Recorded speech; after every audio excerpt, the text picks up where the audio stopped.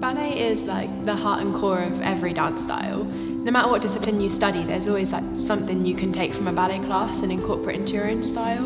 I think the main style that goes with ballet is modern. Um, ballet helps with strength and flexibility, which is used in all aspects of modern. I think it particularly helps with like technical movements, such as like leaps and kicks, because these are all frequently used in both ballet and modern.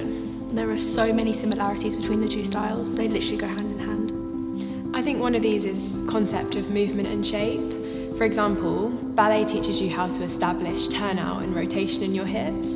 This is easily transferred into a modern lesson because it helps you with height on your side kicks and extensions.